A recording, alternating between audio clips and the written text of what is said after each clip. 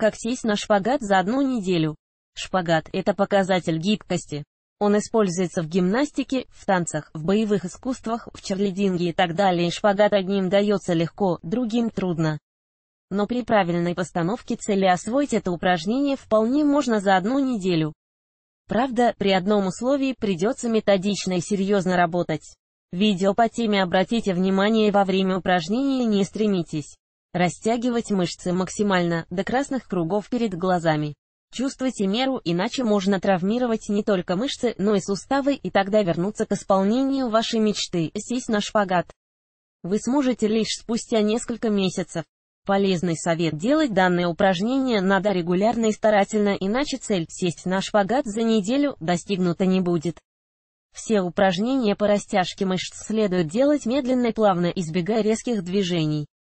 Во время упражнений все мышцы тела должны быть расслаблены, в напряженном состоянии они не смогут полноценно растягиваться, и тогда половина затраченной вами энергии уйдет впустую. В первые дни после упражнений вы будете испытывать боль во всем теле, но это не повод бросить затею.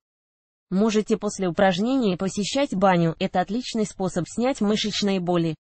А во время упражнений хорошо включать ритмичную позитивную музыку. Если вы не пойдете на поводу своей слабости и продолжите делать весь комплекс упражнений ежедневно, то болевые ощущения исчезнут. Уже на третий день осанка станет прямой походкой легкой, а на 7-8 день вы легко и непринужденно сядете на шпагат. Связанная статья «Как сесть на шпагат упражнение».